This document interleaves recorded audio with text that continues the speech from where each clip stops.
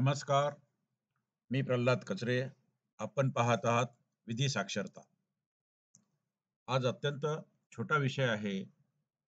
कोणत्याही quasi judicial प्रक्रियेमध्ये notice बजावणं सर्व संबंधित पक्षकारांना, ज्यांचा ज्यांचा हितसंबंध आहे त्यांना नोटीस बजावणं किती महत्त्वाचं आहे, त्याविषयी अलीकडंच मुंबई हायकोर्टाच्या मुंबई बेंचने एक निर्णय दिलेला आहे. रिट पिटिशन नंबर आहे 3973/2023 Devidas Anandrao Pingale versus state of Maharashtra and others आणि त्या निर्णयाच्या आधारे राज्याच्या विधी व न्याय विभागाने दिनांक 14 जुलै 2023 म्हणजे अगदी अलीकडं एक परिपत्रक काढलं आणि राज्यातल्या सर्व ज्या अथॉरिटीज आहेत, निरनिराळ्या कायद्याखाली काम करणारे जे प्राधिकरणं आहेत, अधिकारी आहेत, एजन्सीज आहेत, कोर्ट आहेत, ट्रायब्युनल्स आहेत, त्या सर्वांसाठी एक हे परिपत्रक लागू आहे आणि ह्या दिशादर्शक सूचना किंवा ज्याला आपण निर्देश म्हणतो, डायरेक्शन्स म्हणतो, तसे डायरेक्शन्स कोर्टाचे कळवण्यात आलेले आहेत. खूप वेळा लोक असं बोलतात, की साहेब आम्हाला नोटीस मिळाली नाही किंवा नोटीस मिळाली पण त्याची सुनावणी झाल्यानंतर चार दिवसांनी मिळाली. आम्हाला काहीच विचारलं नाही आणि निर्णय झाला. खरं तर नैसर्गिक न्यायाच्या प्रक्रियेमध्ये सर्व संबंधितांचं म्हणणं ऐकल्याशिवाय कोणताही निर्णय करणं योग्य ठरत नाही. याबाबतीत उच्च न्यायालयाने आणि सर्वोच्च न्यायालयाने अनेक प्रकरणामध्ये सूचना दिलेल्या आहेत, निर्देश दिलेले आहेत. आता बघा, या हातावरच्या केसमध्ये मंत्रालयामध्येच एका विभागामध्ये सुनावणी होती.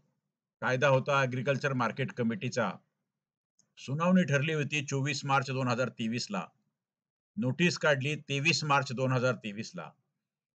त्या पक्षकाराला नोटीस मिळाली सुनावणीच्या दुसऱ्या दिवशी म्हणजे 25 तारखेला.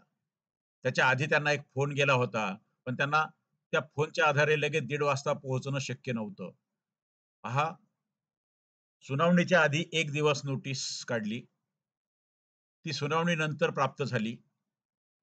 मध्यंतरी एक नोटीस त्या संबंधित अधिकाऱ्यांनी त्यांना फोन केला, पण फोनप्रमाणे लगेच उपस्थित होणं त्यांना शक्य झालं नाही. त्यामुळे त्यांना खूप भीती वाटली, की 23-24 तारखेला जर हिअरिंग झालं असेल, तर मग 25 तारखेला आपल्याला नोटीस मिळाली, आपण हजर नव्हतो, आपल्या विरुद्ध गेला तर काय करायचं? लगेच ते हायकोर्टात गेले. 29 मार्चला ते पक्षकार रिट पिटिशन दाखल केलं हायकोर्टात आणि सांगितलं, की माझ्या केसमध्ये हिअरिंग 24 तारखेला होती. नोटीस मला 25 तारखेला मिळाली. मला हजर राहता आलं नाही. आता पुढची तारीख देण्यासाठी त्यांना भाग पाडा किंवा त्याविषयी काहीतरी सूचना द्या. आणि मग न्यायालयाने हे सगळं ऐकून घेतलं, कागदपत्र तपासले, त्यांचं म्हणणं ऐकलं आणि ऑर्डर केली वा ऑर्डर आपल्यासमोर आहे. State of Maharashtra is directed that in all those matters where personal hearing has to be given, they shall give minimum five working days notice to all parties in every matter, and that applies to this matter as well. This is a direction that shall apply to personal hearings before every authority.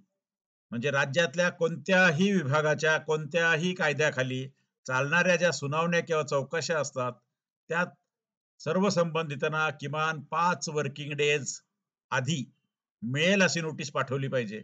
आणि अनेक कायद्यामध्ये 15 दिवस, सात दिवस, वीस दिवस, 21 दिवस, तीस दिवस असे नोटीसचे जे पिरियड आहेत ते तर पाळलेच पाहिजेत.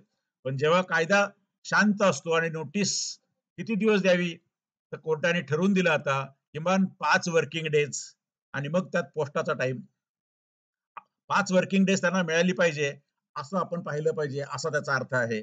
पुढे कोर्ट असं म्हणतं, state of Maharashtra is put to notice through its chief secretary. आता राज्य शासनाला मुख्य सचिवांच्या मार्फत आता कोर्ट नोटीस देत आहे आणि ते म्हणतात, if such notices are brought to the notice of this court. आता जर अशी उशिरा नोटीस दिली किंवा नोटीस न देता हिअरिंग केली असं जर या कोर्टाच्या निदर्शनात आणून दिलं, this court may impose substantial cost to be recovered from the salary of principal secretary of the concern department चूक कोणत्याही अधिकाऱ्याकडून होऊ देत पण त्याचा कॉस्ट किंवा त्याचा दंड कुणाला बसणार आहे? त्या विभागाच्या प्रिन्सिपल सेक्रेटरी किंवा जे मुख्य सेक्रेटरी असतील त्या विभागाचे मुख्य काम पाहणारे सचिव असतील त्यांच्या सॅलरी मधून तो खर्च वसूल केला जाईल आणि तो खर्च सबस्टॅन्शियल असेल असं कोर्टाने अत्यंत स्पष्ट भाषेत या ठिकाणी स्पष्ट केलेलं आहे. त्यासाठी हे पहा चौदा जुलैचं लॉ अँड ज्युडिशियरी डिपार्टमेंटने सर्क्युलर काढलेलं आहे आणि राज्यातल्या सर्व अधिकारी आणि सर्व पदाधिकारी आणि सर्व कोर्टाचं काम करणारे जे लोक असतील त्या सर्वांना सूचना दिलेल्या आहेत आणि हे पाळलं पाहिजे आणि नॉन कम्प्लायन्स जर झाला तर त्याचा परिणाम गंभीर होऊ शकेल याची जाणीव दिलेली आहे. या सर्क्युलर बरोबर राज्य शासनाने या कोर्टाच्या आदेशाची प्रत देखील जोडलेली आहे. हा पहा आदेश एकोणतीस मार्चचा आहे.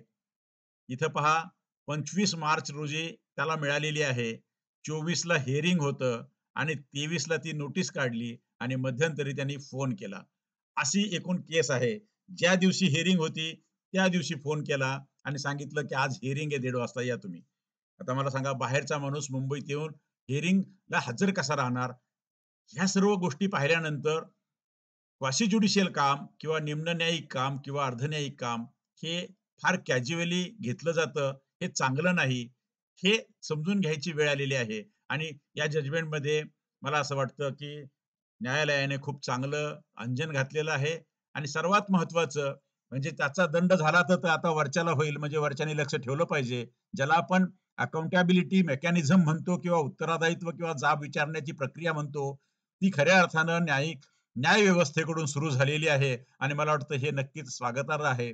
आता जे कोणी ऐकत असतील अधिकारी असतील पदाधिकारी असतील वकील असतील आणि शेतकरी आणि नागरिक असतील या सर्वांनी लक्षात ठेवलं पाहिजे की कोणत्याही प्रकरणाचा निर्णय हा नोटीस देऊन संबंधिताला त्यांचं म्हणणं मांडून पुरावा दाखल करून साक्षी पुरावे घेऊन दिल्याशिवाय आणि म्हणणं पूर्ण झाल्यावर ते जेव्हा तो म्हणेल की माझं म्हणणं पूर्ण झालं त्याच्यानंतरच तो निकाल दिला पाहिजे आणि हा आता नोटीस मिळणं हा प्रत्येक प्रकरणामध्ये त्या पक्षकाराचा हक्क आहे असं यातून स्पष्ट होतं.